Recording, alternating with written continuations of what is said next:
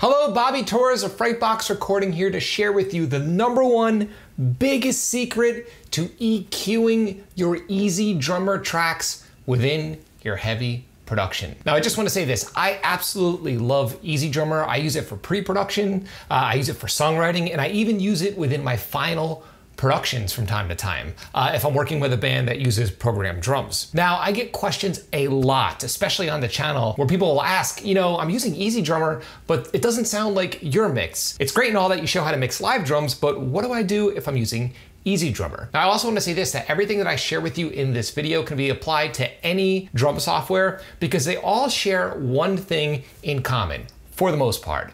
They are all pre-EQ'd and mixed for you already, okay? This is important to understand.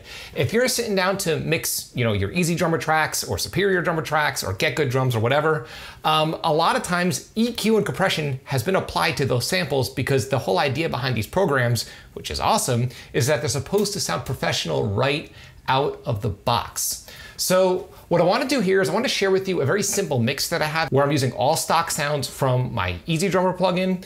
And I'm gonna dive deep and just share with you a few examples of how I go about EQing these tracks to sound realistic within a production. And I'll also share some mistakes that people generally make when it comes to EQing their EZdrummer or program tracks in general. Let's check it out.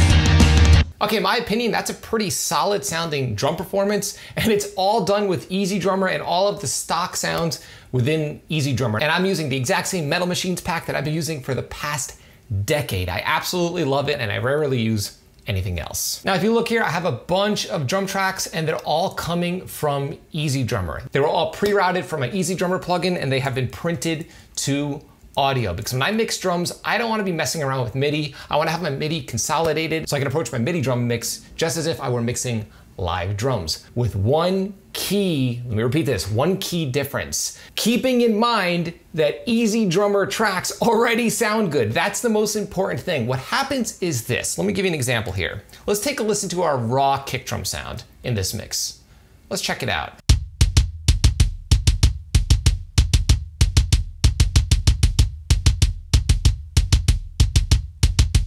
That is the raw kick drum coming from EZdrummer.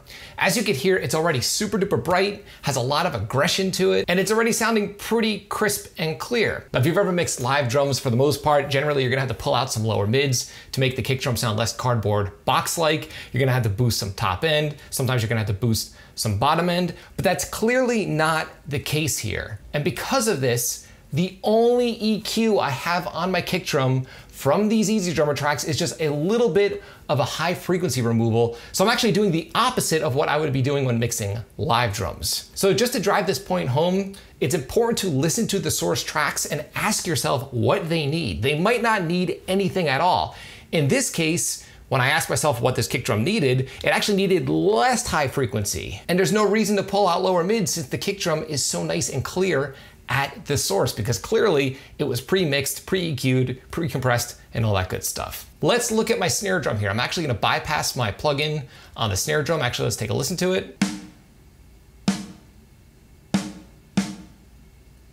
So raw, that's a good sounding snare drum. And because of that, all I'm doing here is high passing my snare drum at around 88 hertz and just pulling out again some top end because for me, it was actually too bright sounding the complete opposite uh, of what I would find when mixing live drums. If I were mixing live drums, again, with snare drum, just like with kick drum, generally it's gonna sound a little boxy. You're gonna have to pull out some lower mids, boost some top end, uh, maybe be a little more aggressive with the roll off on the low end, so on and so forth.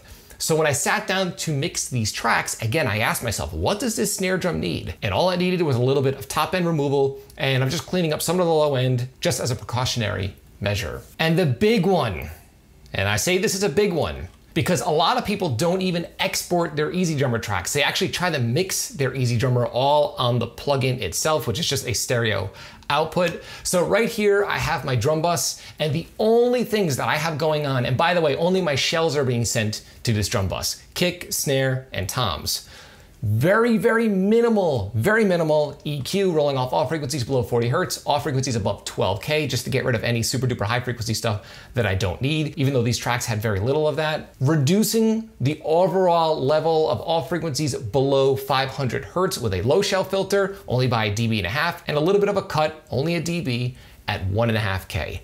That is all of the EQ on my EZdrummer tracks. It did not require anything outside of this. And that is the secret to EQing EZdrummer or program drum tracks in general. It's to not overdo it and do not pretend like you're mixing live drums because you are not. You're mixing something that is already pre-mixed and pre processed? I get this question over and over and over again. And to be honest with you, that truly is the secret to making your MIDI drums sound realistic and not weird and spiky and overly EQ'd and overly bright. Because most of the time when people send me their mixes to check out and they're utilizing programmed drums, the programmed drums sound overly bright, overly sterile, and just strange sounding. And it's usually because people just over EQ their programmed drums that again are already processed in the first place. So let's quickly again listen to the drum performance and the drum mix and uh, see what we got.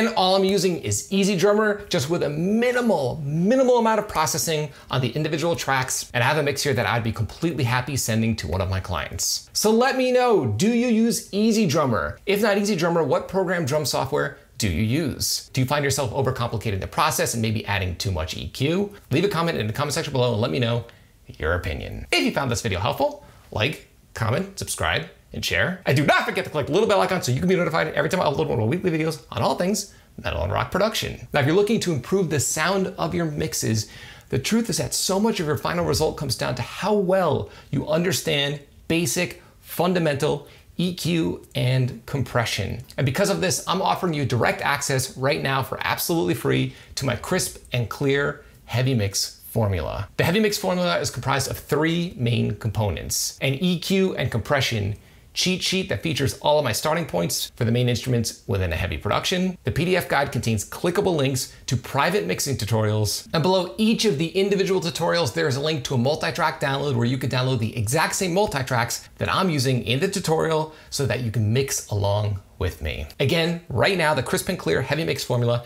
is absolutely free and you can have direct instant access right now by clicking the link below. Until next time, happy mixing.